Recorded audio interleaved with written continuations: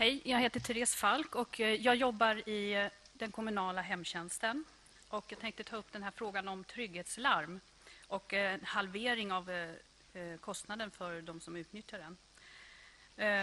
Och jag möter ofta människor som på grund av ekonomin som de har starkt funderar på om de har råd med att ha trygghetslarm överhuvudtaget.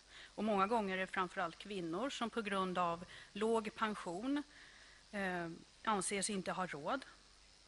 Och sen har vi även sommargäster som kommer ut och eh, bor här ute i sina sommarstugor eh, på somrarna och ofta reagerar på att det kan vara mycket dyrare att få trygghetslarm ute i vår kommun när de är här ute jämfört med hemma i hemkommunen. Eh, och det borde inte stå och falla med sin ekonomi att få ha en trygghet i att jag och mina kollegor kan komma och hjälpa dem när de behöver hjälp. Och ibland kan det handla om ganska akuta situationer som eh, hjärtproblem eller fallolyckor.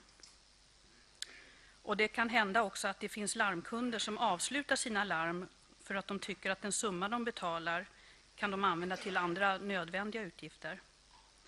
Och eh, jag tycker inte att någon ska behöva tänka tanken att över att inte kunna ha råd att vara trygg i sitt hem.